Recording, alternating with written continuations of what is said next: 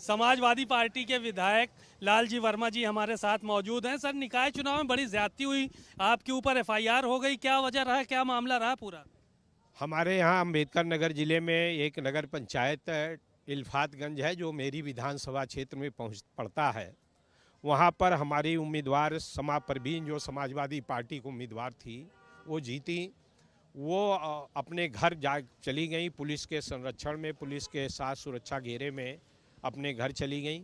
उनसे जो समर्थक थे, वो उत्साहित थे, कुछ नारा वारा लगा रहे थे वहाँ पर उनके घर के अगल बगल जिसके कारण पुलिस वालों ने उनके खिलाफ एफ़ आई दर्ज किया और उस एफ़ आई दर्ज में 25 लोग नामजद हैं, जिसमें मेरा भी नाम, जहाँ, जबकि मैं वहाँ था भी नहीं, मैं अपने घर पे था और उसके बाद भी मेरा नाम उसमें शामिल करके एक सौ सैंतालीस, एक सौ अड़तालीस, एक सौ उनचास दो सौ पंचानवे ए, एक सौ तिरपन ए पाँच सौ चार, पाँच सौ छः सेवन क्रिमिनल एक्ट एक सौ अट्ठासी के साथ साथ तमाम धाराओं में मुकदमा दर्ज करके और उसी रात में पंद्रह लोगों को गिरफ़्तार करके, जबकि ये जितनी भी धाराएँ हैं, इसमें सात साल से कम की सज़ा है।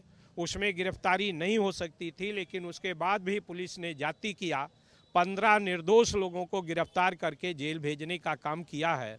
कैमरामैन अमरीश के साथ सीमा नकवी भारत समाचार लखनऊ।